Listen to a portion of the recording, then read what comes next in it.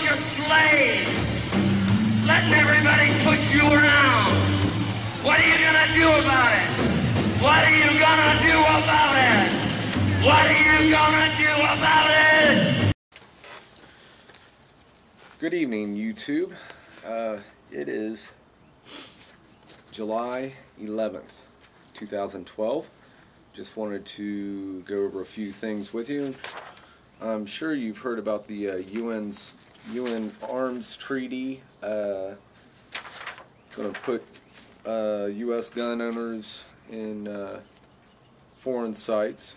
Uh, critics are saying. They're going to vote on this July 27th. Hmm. And that's uh, when the kickoff for the um, Olympic Games is going to be. Is that when they uh, start, I believe? Also, Peres cancels trip to avoid traveling on Shabbat.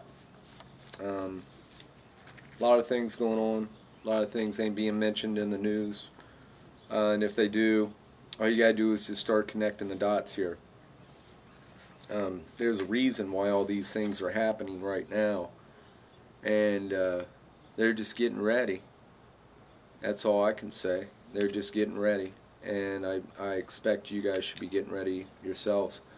Uh, get with your neighbors. Um, get in contact with other people on YouTube. Uh, I'm going to take a uh, quick last minute trip before all this stuff kicks off. Um, I'm going out on a limb here and I'm going to say some bad things that's going to happen here um, within a month. I've been telling you for a long time to uh, prepare yourselves. If you haven't, I feel sorry for you. Um, that's all I can say about that, really. Uh, but you do still have a little time left. Nothing's happening to you today. Go out and uh, if you got to go to China Mart, I mean Walmart, uh, pick up some some of those uh, seven gallon jugs to start filling water, you know. They're only like 11 bucks a piece, you know. We'll go out and get five of them, you know. At least you have 35 gallons of water. Anything's better than nothing, you know. Uh, key thing will be water. Uh, stock up on the canned goods. If you're growing your own food, good. You listened to me about that in the past. Um, there's just so many things happening in so many different areas. It's hard to keep up with anymore. But I will say this, you better better be prepared because uh, I got a feeling after July 27th all hell's probably probably going to break loose here. Now uh, I know I'm going out on a limb by saying that and I've never given dates before. You know, I've, I've talked about uh, the Muslim Brotherhood uh, taken over over in Egypt and Libya. I'm sure you guys already all, all know about that.